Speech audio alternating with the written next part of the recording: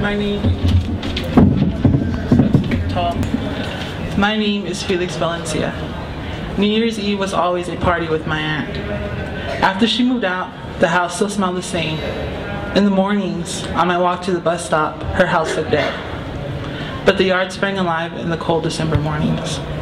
The outlines of the ash from the New Year's Eve bonfires, the collection of, of broken furniture and appliances that gathered in the yard. It had been years since my family had a New Year's party. Years since we all, we all had gathered under one roof and ate soggy bologna sandwiches and drank liquor in plastic McDonald's cups. Before the kids grew up and before the custody battles began, there was the holidays. My mother, St. Martha of the Glue Gun, had Christmas.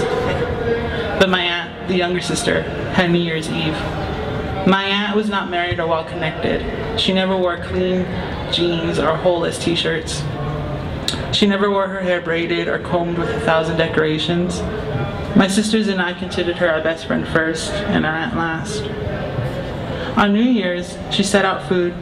Her entire table would be filled with plates of sandwiches, cookies, Kool Aid, Cheetos, gummy worms, and expensive malt liquor. I remember her as she flew from room to room. She had immaculate couches, but a TV on a crate with a coat hanger antenna. For me and my sisters, who shuffled from house to house with no place to be young and careless, my aunt's house was home.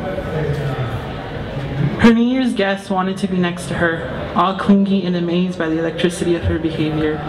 She would come out of her room in her Wrangler jeans and blue velvet house shoes, her long hair loose and with that sweet smell of plastic in your shoes. And everywhere she would go, that smell would follow her. As the party wore on, the rooms lost their warmth and comfort until only the laughs could be heard outside by the bonfire. New Year's was when we planned for a future that wouldn't happen. When midnight came, we shook hands on it. Pink Floyd was on the stereo and confetti rained down on us.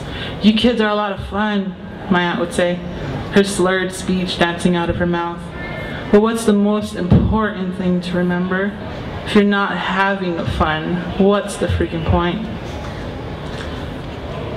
In the end, her electric behavior didn't matter.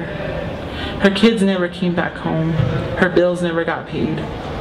And she started to fall down from the sky and became nothing more than confetti on the ground.